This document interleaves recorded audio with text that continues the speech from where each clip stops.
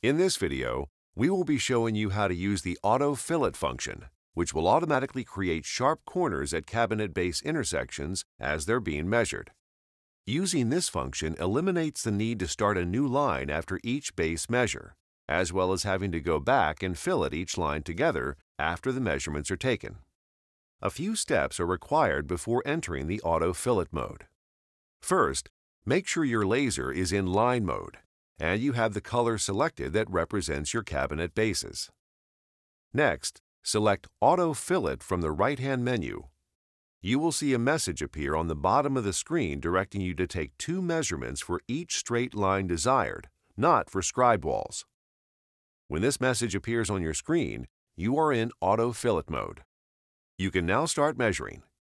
Be sure to start at the beginning or end of a scribe. Remember to measure in either a clockwise or counterclockwise direction, taking two points on each cabinet base. Once your measurements are complete, you will notice an Open and Close button flashing at the bottom of the screen. If you are measuring an island, select Close to fillet the last corner together.